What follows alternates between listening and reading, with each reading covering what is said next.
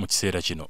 Uganda erimu abanoonyi b'obuddamu abasoma kakadde kamu emitwalo ana ng'okusinga bava mu ggwanga erya south sudan ne democratic republic of congo. Mu nkuŋŋaana za kuno ne mu nsi yonna uganda ezeetenderezebwa nga bwekeza obulungi mu kulabirira ababundabunda bano. Okulina okubagatta mu kuteekerateekera eggwanga okulaba nga babeera mu bulamu obweyagaza kati minisita w'ebigatta biraze n'ababundabunda hilary onek agamba wadde nga beetaaga obuyambi obuwerako abagabi b'obuyambi. Kati essira bandiritadde nnyo mu kuzimba enguudo mu nkambi z'ababundabunda okusobola okugasa ababundabunda ne bannansi. Because uh, these connectivities are very important to, to, to increase um, to increase on, uh, on on movements, on trade and livelihood, and all other aspects of human um, uh, interactions that can uh, reduce um, a lot on the dependency that most refugees are on now. okulabirira abawudami ate mulimu gwa community e- ey'ekyalo kyonna oba community ey'ebweru mulimu gwabwe okubalabirira kati era bajja kusigala nga batuyambako okulaba nti ebintu bino ebiteekeddwawo bigenda mu maaso nga abawudami n'abantu bannayuganda abali mu disitulikisi ezo baweerezebwa kyenkanyi.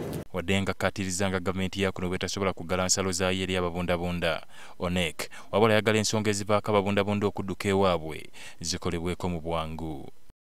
Renewed focus on address to address the root causes of displacement in the countries of origin, increase uh, investment in countries of origin to make conditions favorable uh, for return home.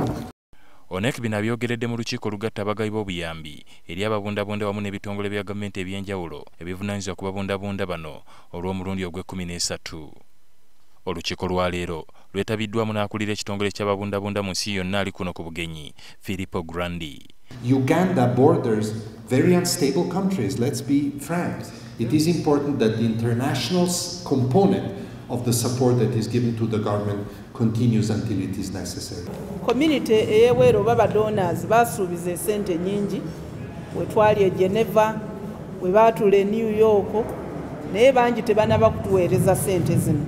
Grandi ayagala abagabi b'obuyambi bongere amaanyi mu by'emmere eri abantu bano kubanga kukyali kusoomooza kw'amaanyi nnyo okuviirako n'obutabanguko mu maka The absence of food, of resources in the house, creates tension, which sometimes unfortunately degenerates in violence, and uh, with all that goes with it.